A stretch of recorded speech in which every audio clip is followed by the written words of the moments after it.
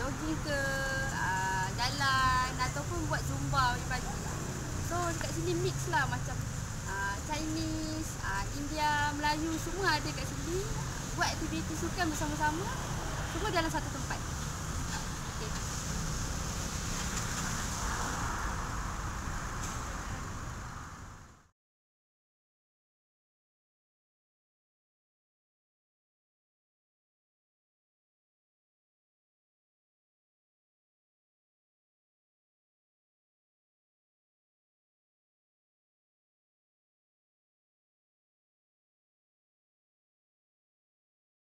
Sebelum terlupa, ekonomi utama bandar tangkap ialah tanaman komoditi iaitu getah dan kelapa sawit serta aktiviti pertanian seperti buah-buahan dan sayur-sayuran. Seterusnya merupakan kedai yang terkenal di bandar tangkap iaitu kedai nasi ayam Ali.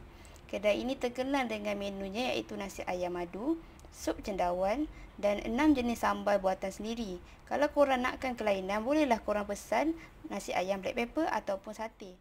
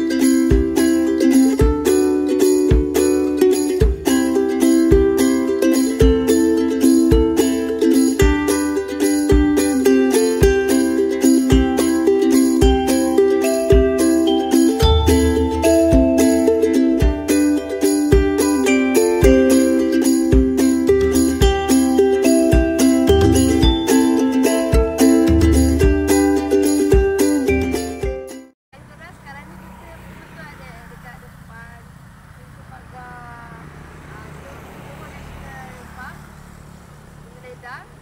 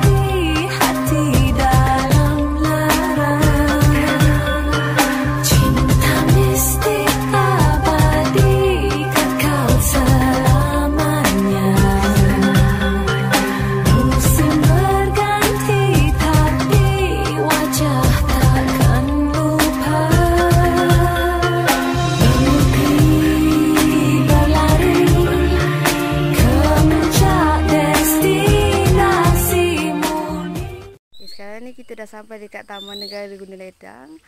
So dekat sana kalau korang boleh tengok adalah bangunan di mana semua pendaki-pendaki ni perlu de, uh, daftarkan diri dulu sebelum naik uh, naik ke Gunung Ledang.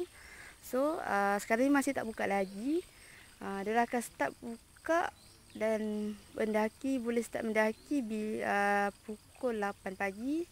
Jadi dekat sana sebelah hujung sana ni betul-betul sebelah kiri uh, bangunan ala kat mana uh, di mana tempat pendaki akan mulakan pendakian.